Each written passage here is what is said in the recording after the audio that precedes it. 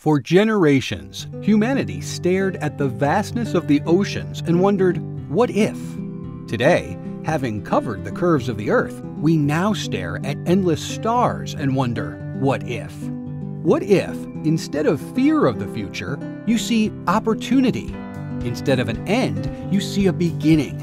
Instead of loss, you see profit. And instead of death, you see life. What if you and your organization get future primed?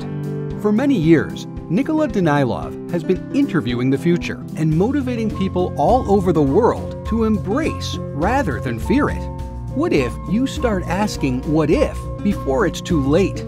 When you book Nick to be your keynote speaker and strategic advisor, you will find your path to a better future, stronger business, and better you.